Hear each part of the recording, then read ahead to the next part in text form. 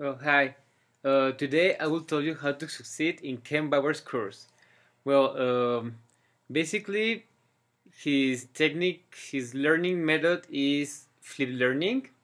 Uh, that method is like really good if you know how to deal with it. Because flip learning is like basically you have to learn all the things by yourself, and then the teacher will assign you like some activities, uh, and you can ask him questions at at any time or you can ask him to explain a whole topic if you need so so so it's a really good learning method because you are actually learning and then you can apply this same method to learn anything you want.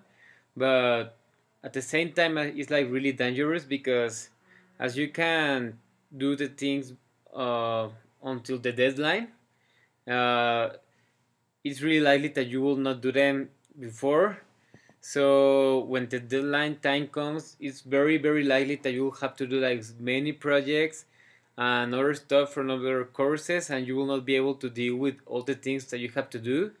So well, my recommendation for you uh, would be like do the things before the deadline and start working on on the difficult topics in advance because the first topics that you're going to learn they will likely be like really easy but as you keep advancing they're they're going to get like more and more complicated. So uh, if you want to succeed, I would recommend you to do your homeworks on time. Don't wait until deadline and start seeing topics in advance. Well, thank you for your attention. Goodbye.